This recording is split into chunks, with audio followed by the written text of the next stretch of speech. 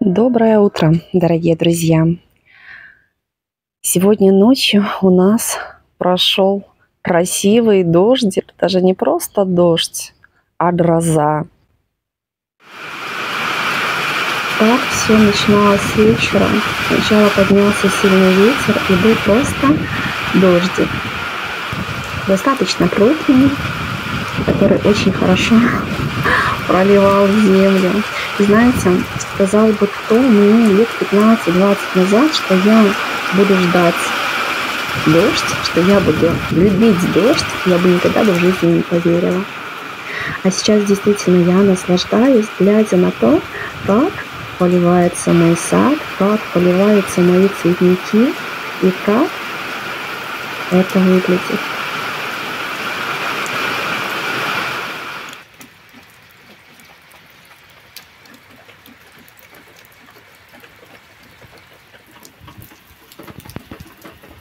Красиво же, правда?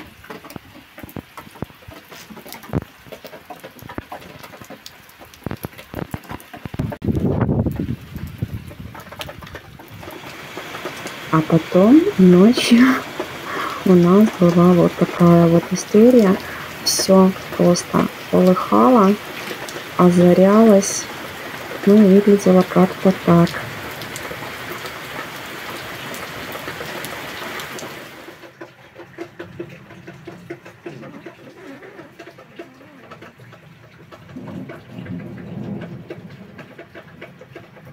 Дождь то практически прекращался, то опять набирал очень большие обороты, что я боялась, что у меня просто вымоет все в саду.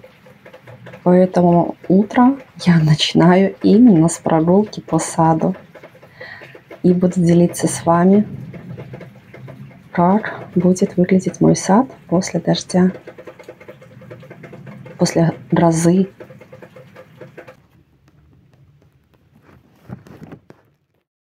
Такая вот погода была целую ночь. Небо просто озарялось яркими раскатами молний. И сейчас я решила выйти посмотреть, как чувствуют мои растения себя а, после ночной грозы. Капельки, кстати, сохраняются еще даже на траве до сих пор. Растения, конечно, чистенькие, умытые. И еще до сих пор сохраняется везде, на каждом листочке, на каждом лепесточке капелька от дождя. Сад выглядит намного живее, намного ярче. Ни один полив из шланга не дает такого результата, конечно же.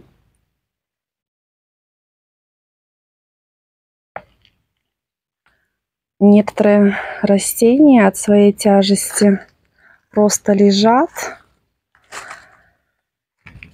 Например, как вот моя розочка просто положила свои цветочки мне на дорожку.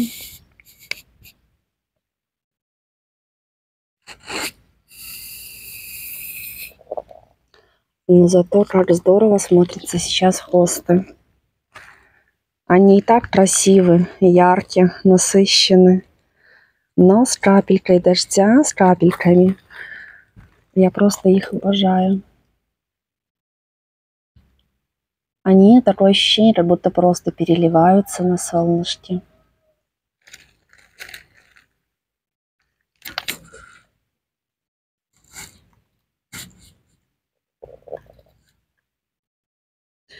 Дождь, конечно, прошел очень сильный.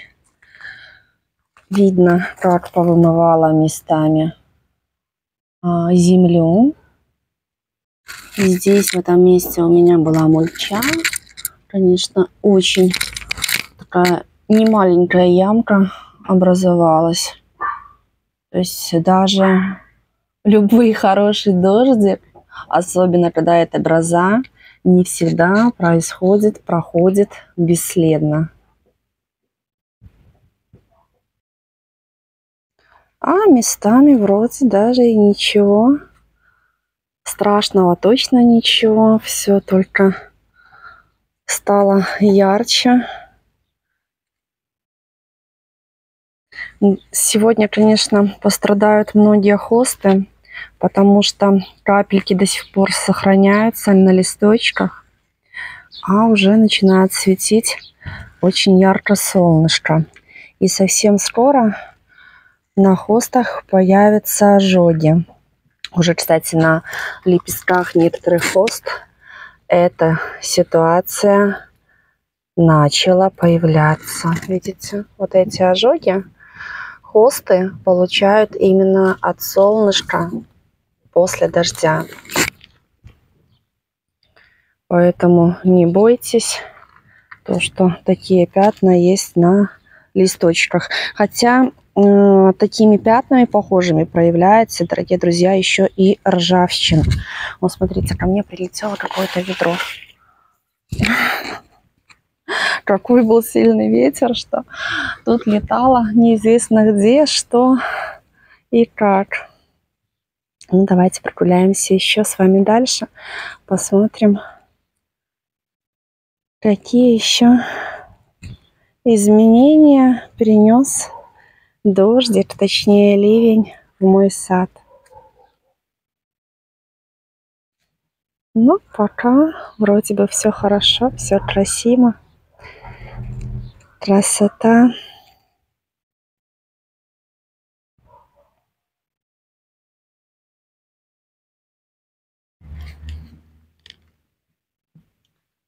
Цветет ливизия, милая красавица, яркое солнышко.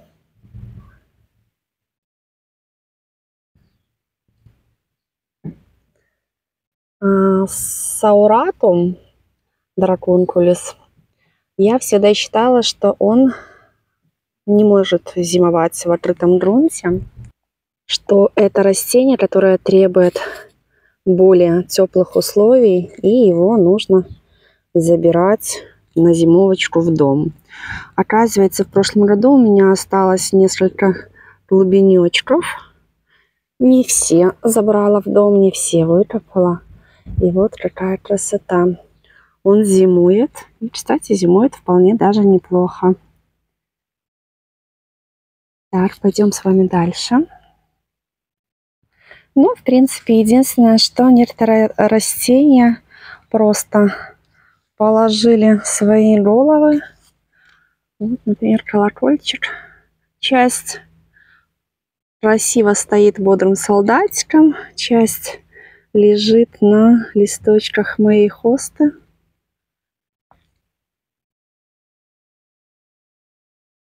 То же самое и гелиопсис зендермана тоже немножко положил свою голову.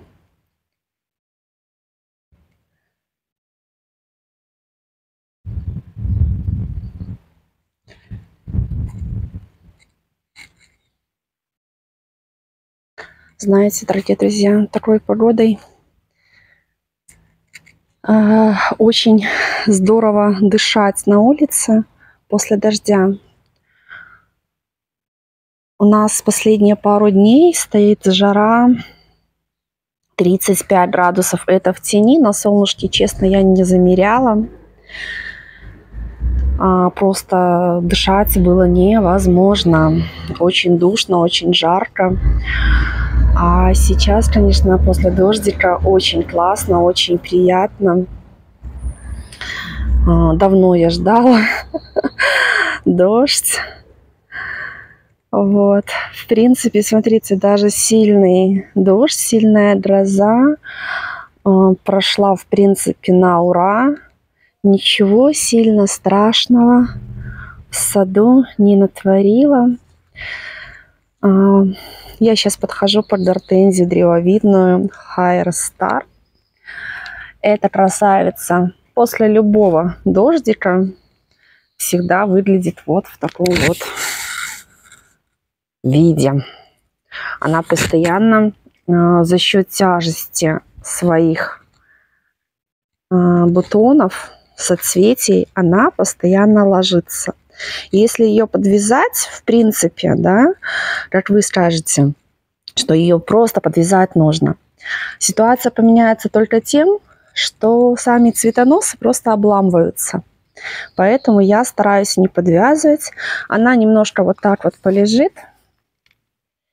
Когда вот эти вот капельки, я думаю, вам будет видно, на цветочках обсохнут, высохнут, она сама поднимет свою голову, сама поподнимает свои шикарные и крупные соцветия. О, и пчелка попьет сейчас и нектара, и водички, и все дружненько поднимутся.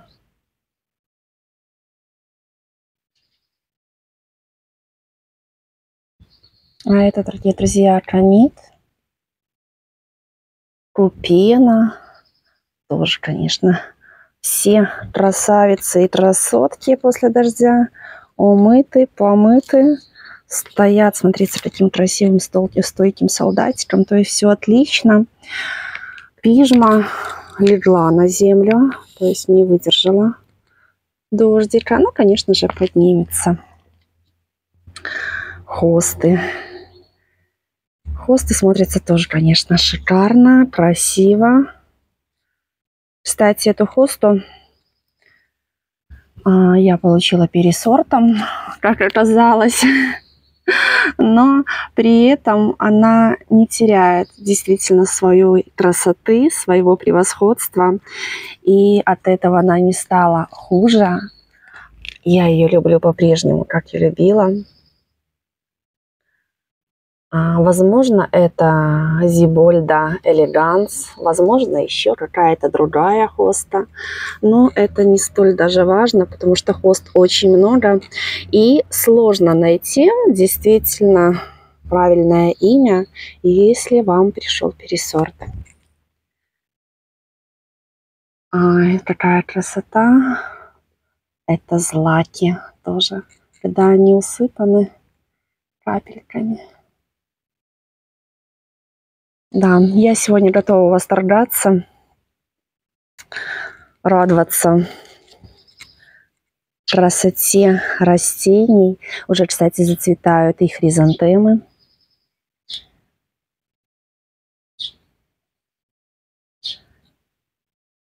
Вот такая вот красота сейчас царит в саду.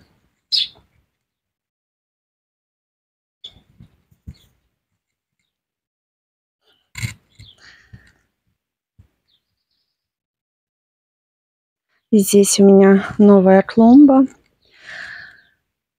А, посадила сюда своих новичков. Еще пока не лежит мульчи, просто уложила картоном, чтобы не росли сорняки и сохранялась влага для моих новиночек, потому что в саду жарко, а высадить, высадить их нужно было обязательно. Это ива розмаринолистная красивая, очень эффектная ивушка с интересной листвой.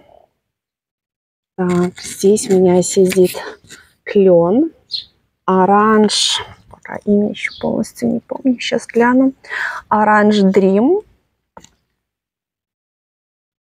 Тоже, конечно, красивый эффектный кленик. А, цвет листвы у него изменчив центр я посадила горную сосну, которая будет просто расползаться туда-сюда. Это а, сосна горная. Ой, как ее зовут? Мурус. Если я не ошибаюсь. Что-то такое вот название, имя. Перейдем на ту сторону. Тоже покажу вам остальные растения, которые здесь сидят. Это бересклет крылатый, компакта.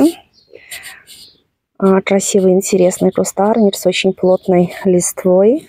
И листва зеленого будет изменяться на красный цвет. Уже, кстати, на некоторых лепесточках начало появляться эти изменения. А это, дорогие друзья, цертис. А, я уже в нетерпении жду весны, чтобы посмотреть, как действительно он цветет. Он и сейчас красив, у него очень интересная а, листва, достаточно такая как бы эффектная. Но он радует, конечно, больше всего именно цветением. За счет цветов я его, в принципе, и приобретала в свой сад. А в дальнейшем данный цветник буду устилать мульчой. Тоже буду вам показывать, как будет меняться внешний вид этой зоны.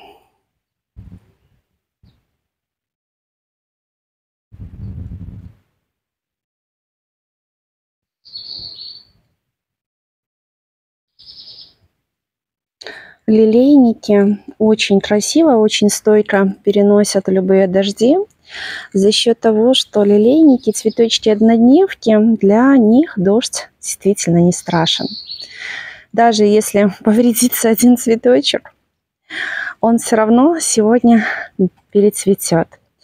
Поэтому дождик это так, просто умыться и помыться, как говорится розочки. А, первая волна цветения многих роз уже позади. Сейчас уже начинается в моем саду вторая волна цветения роз. Некоторые розы настолько ароматны, особенно после дождя. Запах ощущается просто чудесный, просто превосходный. Здесь у меня достаточно солнечное место. И вы смотрите, насколько хорошо еще держатся капельки. Еще одна розочка. Я сортов, ну, в основном не знаю своих роз, поскольку я их выращивала из черенков. У меня все розы корни собственные. Поэтому сортов я называть никаких не буду.